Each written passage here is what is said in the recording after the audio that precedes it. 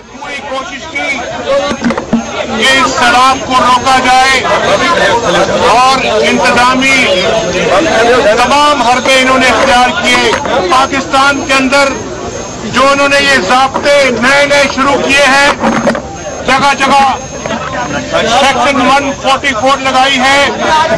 ये सब गैर कानूनी है। कि ये रास्ते की सारी पाबंदियाँ हटा दो।